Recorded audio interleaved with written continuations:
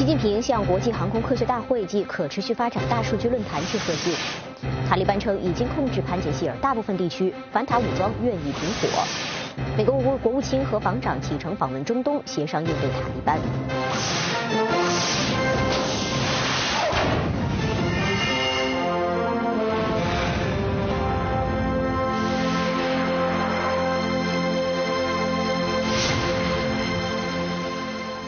午安，欢迎收看凤凰午间特快，我是全全。先来关注到，中国国家主席习近平六号向第三十二届国际航空科学大会致贺信，祝愿本届大会为促进全球航空科技合作发挥积极作用，给世界各国人民带来更多福祉。习近平同一天致信，祝贺可持续发展大数据国际研究中心成立大会暨二零二一年可持续发展大数据国际论坛在北京举行。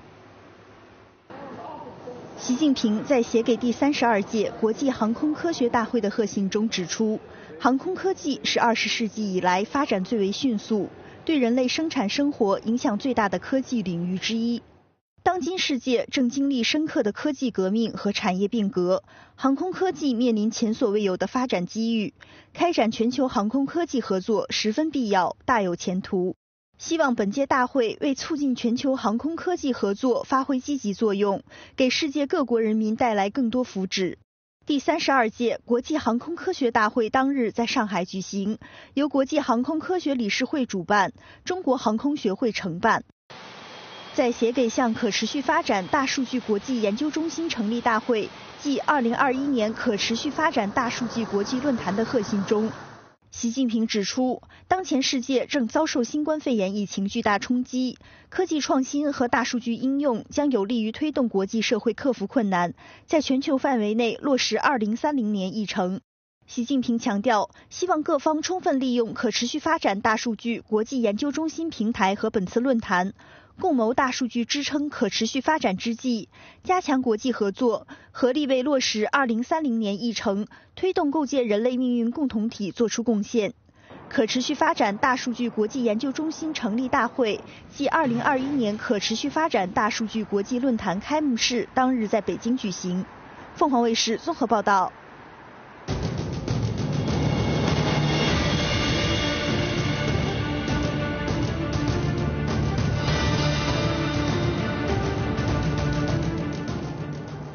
关注到阿富汗方面，在阿富汗，塔利班和反塔武装五号继续在东北部的潘杰希尔省激战。塔利班声称已经控制了首府巴扎拉克以外的所有地区。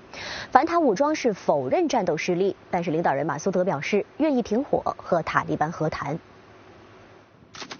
塔利班五号表示，他们在潘杰希尔省的战斗已逐步取得进展。除了首府巴扎拉克外，潘杰希尔省所有地区已被塔利班控制。攻打巴扎拉克的战斗仍在继续。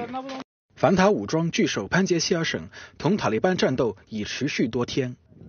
反塔武装否认战斗失利，指他们已夺回战略重地帕里扬高地的控制权，俘虏了大批塔利班人员。报道指，有大约一千五百名塔利班人员向反塔武装投降后被俘虏。反塔武装领导人马苏德在社交媒体表示，为了阿富汗和平稳定，反塔武装准备立即停火并进行谈判，条件是塔利班也停止进攻并撤出潘杰希尔省。据阿富汗媒体报道，反塔武装的一名发言人达什提已在战斗中死亡。消息传出前，达什提还在社交媒体发信息，指反塔武装正从塔利班手中收复失地。在首都卡布尔机场重启后，阿富汗最大航空公司阿里亚纳航空恢复了卡布尔与赫拉特、马扎里沙里夫和堪大哈三个主要城市的国内航班。虽然国际航班仍未恢复，但机场已开通了国际人道主义救援通道，来自卡塔尔的医疗用品、食品和婴幼儿奶粉等人道主义物资正陆续抵达。另一方面，英国媒体报道，在阿富汗中部吉尔省，一位名叫内加尔的怀孕八个月的女警被塔利班人员殴打和开枪打死。塔利班发言人穆贾希德回应说，他们正在调查事件，强调塔利班没有杀害内加尔。穆贾希德重申，塔利班已经承诺不会向前政府人员报复，又指内加尔的死可能同个人恩怨有关。自塔利班控制首都卡布尔后，西方媒体多次报道阿富汗发生多起妇女受迫害事件。近日有妇女上街游行，要求争取妇女权益，但遭到塔利班驱散。而塔利班教育部门日前发布文件，在私立大学就读的女子必须穿长袍以及佩戴覆盖大部分脸部的尼卡布，同时要求按性别分班。凤凰卫视综合报道。阿富汗塔利班五号在喀布尔会见了联合国负责人道主义事务的副秘书长格里菲特，确保获得联合国的人道援助。另外，罗马天主教教宗方济各当天呼吁各国接收更多的阿富汗人，让他们能够过新的生活。阿富汗黎明新闻网站报道说，塔利班发言人纳伊姆在社交网站推特发文称，阿塔二号人物、塔利班创始人之一的巴拉达尔及其代表团五号在喀布尔的外交部会见了联合国负责人道主义事务的副秘书长格里菲特。格里菲特也在推特发文，重申联合国致力为阿富汗数百万需要帮助的民众提供公正的人道援助和保护。罗马天主教教宗方济各五号主持周日弥撒时，祈愿有更多的国家能够欢迎及保护寻求新生活的阿富汗人。In questi momenti concitati che vedono gli afghani cercare rifugio, prego per i più vulnerabili tra loro. Prego perché molti paesi accolgano e proteggano, proteggano 方济各又为在阿富汗境内流离失所的人祈祷，让他们得到援助及保护，同时又祝愿阿富汗年轻人接受教育，这是成长所必须的。巴基斯坦的阿富汗问题特使萨迪克五号主持召开视频会议，与阿富汗周边六个邻国，包括中国、塔吉克斯坦、土库曼斯坦和乌兹别克斯坦代表，共同讨论阿富汗局势。会议指出，阿富汗和平对地区的安全稳定至关重要。巴基斯坦总理伊姆兰汗当天分别与沙特和阿联酋王储以及卡塔尔艾米尔通电话，呼吁国际社会给予阿富汗人民经济支持，帮助阿富汗重建。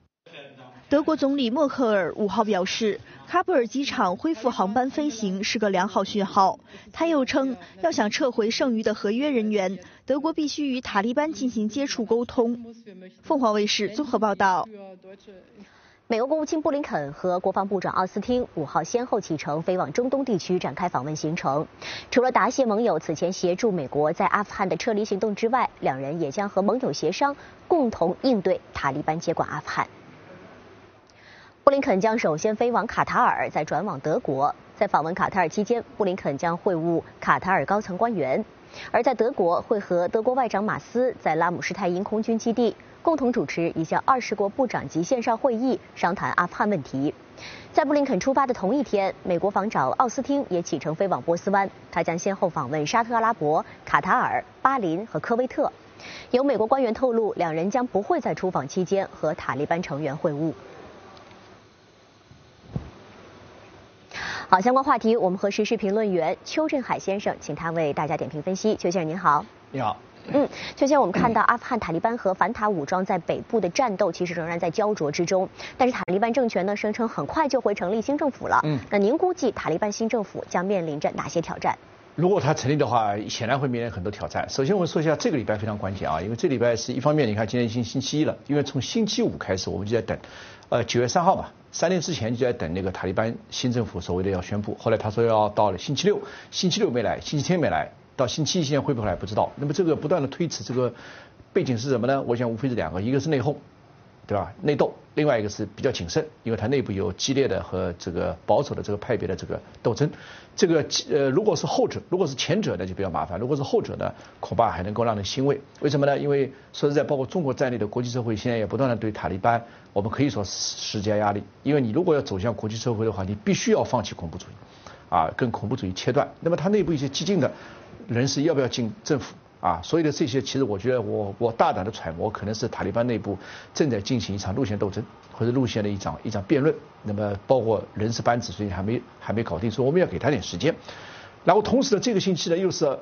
到本周六呢，又是九幺幺二十周年，所以这个星期是非常敏感的一年。为什么到九幺幺十周年？它不但是象征性的二十年非常重要，而是大家知道，这过去二十年这个反恐反恐越反越恐。那么现在包括。这个 I I S K 在内的那些这个阿富汗的那些地方的当地的恐怖组织，其实他们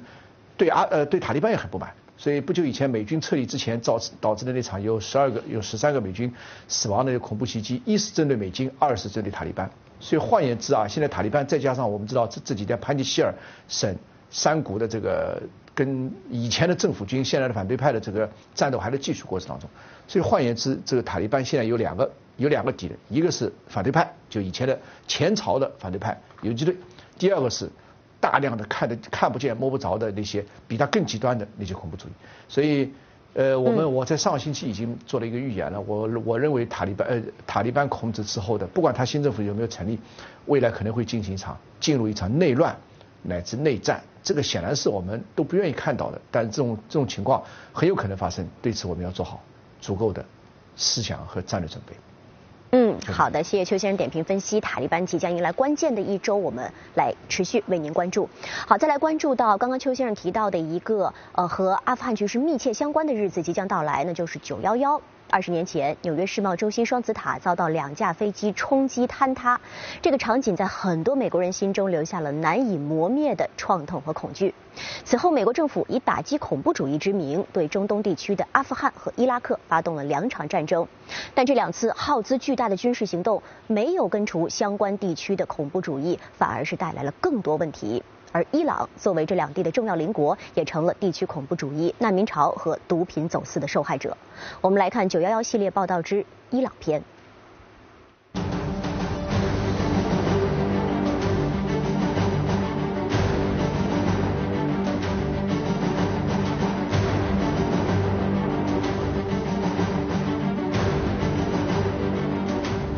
伊拉克和阿富汗是伊朗的左邻右舍。美国以反恐之名对这两个国家发动战争，导致这二十年来难民和毒品走私不断涌入伊朗。Some believe that Iran has the highest number of refugees in the world, many of them officially documented, and many of them undocumented refugees. So it has damaged Iran a lot, but Iran is trying its best to contain the situation.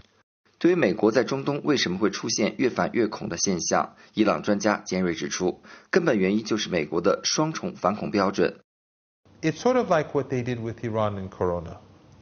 And the, the Americans want to stop Corona across the world, but then they try to block Iran from purchasing masks, ventilators, vaccines, the, the equipment to produce their own vaccines. So they were targeting Iranians, trying to make Iran suffer to, to weaken Iran. But even this very ugly and inhumane policy is dangerous for the whole world because if corona spreads in Iran, yeah. it's not going to stay in Iran's borders. Yeah, so when the Americans are supporting terrorism in Afghanistan in the 1980s or the 1990s, or when they support terrorism in Syria now, then terrorism is going to grow, even if you fight that terrorism somewhere else. 在九幺幺恐怖袭击之后，美国把伊朗、伊拉克和朝鲜列为邪恶轴心国。但是在伊朗人看来，在这二十年间，美国并没有阻止极端主义和恐怖主义，而是暗中支持地区的极端组织敌对伊朗，进而把仇恨和暴力向全世界扩散。黄卫视郑开吕穆森德黑兰报道。休息一下，广告回来有财经消息，稍后见。欢迎回来，关注到股市方面，亚太区股市今天普遍向好，日本股市午后升幅维持在百分之一点七左右，台湾股市也升接近百分之零点四，但韩国股市在平盘的下方徘徊，沪深两市开在平盘附近，随后涨幅扩大，医药、白酒和券商股表现领前，创业板指更大涨超过百分之三点七。沪指重返三千六百点整数关口上方，中午报三千六百一十八点，上升三十六点，升幅百分之一点零二，半日成交四千四百零六亿人民币。深成指中午报一万四千四百八十六点，上升三百零六点，升幅百分之二点一六，半日成交五千一百三十七亿人民币。香港股市方面，恒生指数低开七十四点，随后反复走高，并且重返两万六千点整数关口。恒指中午报两万六千零三十四点，上升一百三十二点，升幅百分之零点五一，半日成交八百五十七亿港元。香港媒体报道，粤港澳大湾区的跨境理财通已经准备就绪，随时可以在下个月初启用。而债券通的南向通也可能会在十月一号国庆日之前启动。香港新报报道指，上周有大型银行就跨境理财通的系统进行最后测试，而各银行目前仍在等待监管部门公布咨询之后的详细修改版本。报道指，由于内地和香港因疫情未完全恢复通关，内地合作银行可代替港澳的销售银行，为合资格的内地投资者提供南向通投资户口见证开户服务，但香港投资者则要亲自北上到当地银行开设理财通专属户口。另外，路透社引述消息指，债券通的南向通预料会在十月启动，最快会在本周公布更多详情。但也有消息指，由于仍有价格的计价的问题需要解决，确实开通日期可能仍然存在变化。中国国家主席习近平上周四宣布设立北京证券交易所之后，北交所的筹备工作火速推进。周日呢，更是发布了三份意见稿，向市场进行咨询。北京证券交易所的筹备工作全速进行。中国国家企业信用信息公示系统显示，北交所已经在上周五完成工商登记。全国中小企业股份转让系统公司新三板是唯一股东，注册资本十亿元人民币。新三板董事长徐明将出任北交所董事长。北交所随后在周日发布三份征求意见稿。分别就上市规则、交易规则和会员管理规则向市场咨询到本月二十二号。文件显示，北交所的上市规定基本上是延续新三板的精选层制度。在交易制度上，公司上市首天没有升跌幅限制，之后每天升跌幅限制三成。当每次升或跌幅超过三成、六成时，就会临时停牌十分钟。买卖股份最低数量是一百股。之后以一股为单位递增，北交所又不会强制公司派发股息，鼓励量力而为。强制退市机制方面，则分为交易类、财务类、规范类和重大违法类等四种情况。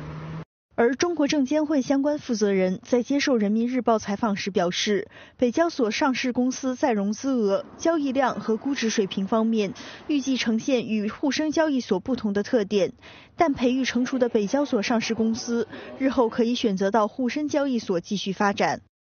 面对外界猜测，新的交易所日后会否与港交所竞争？中国证监会副主席方星海周末出席论坛时强调，坚决维护香港金融中心地位，支持丰富沪深港通投资范围和境内外企业到香港上市。预计 A 股指数期货年内开始交易。北京大学新结构经济学研究院院长林毅夫则认为，设立北交所有助推动内地的经济循环。华尔街日报分析也认为。北交所提供另一个渠道，让初创科技公司留在内地融资。凤凰卫视综合报道。中共中央政治局委员、国务院副总理刘鹤表示，必须大力支持民营经济发展，使民营经济稳增长、稳就业、调结构、促创新，发挥更大作用。新华社报道，刘鹤在2021中国国际数字经济博览会上以视频方式发表致辞。他提到，民营经济为中国贡献了五成以上税收、六成以上 GDP、七成以上技术创新、八成以上的城镇就业以及九成以上的市场主体数量。他表示，必须坚持社会主义市场经济改革方向，坚持推进高水平对外开放，保护产权和知识产权。刘鹤指出，政府支持民营经济发展的方针政策没有变，将来也不会变。对于中央政府公布横琴粤澳深度合作区建设总体方案，珠海表示举全市之力支持配合服务好横琴粤澳深度合作区的建设。珠海市委书记郭永航近日主持召开市委常委会议，专题学习贯彻习近平总书记关于粤澳合作开发横琴的重要指示精神和中共中央、国务院横琴粤澳深度合作区建设总体方案。会议指出，全市上下要认真学习领会，抓好贯彻落实，进一步把思想和行动统一到总书记、党中央关于横琴粤澳深度合作区建设的决策部署上来，始终心怀国之大者，举全市之力支持配合服务好横琴粤澳深度合作区建设。再来看到台湾方面，台湾军方将会在十三号展开汉光三十七号实兵演习，其中十五号有多款战机将会在南部屏东的嘉东战备跑道紧急起降。那日前预演的时候呢，一架 F 十六战机滑出跑道，六号再度预演受到关注。B-112K 空中预警机、F-16、IDF 和幻影两千战机，六号清晨陆续升空，并降落在南台湾屏东基地，为十三号展开的汉光三十七号实兵演习进行预演。军方规划十五号在屏东的嘉东战备跑道执行战机紧急起降。八月三十一号预演时，一架 F 十六战机降落时滑出跑道，机头插进土里。军方为此取消九月一号的全兵力预演。这次预演是意外发生后首次预演，受到关注。你们是什么时候知道可以来这里看这个飞机起飞？有讲。哦，网络都有在传。哦，那你多早就起床了？四点。台军近期演训意外频传，八月就发生一辆云豹八轮甲车演练时熄火，受困河床；一架 F 十六战机起飞后座舱罩脱落，还有一辆 M 六零 A 三战车滑落边坡冲撞营舍，加上 F 十六战机滑出跑道事件，一个月就发生至少四件演训意外。台军规划七号和八号将再度进行战机起降预演，为下周汉光军演做足准备。凤凰卫视蓝箭图陈建达台北报道。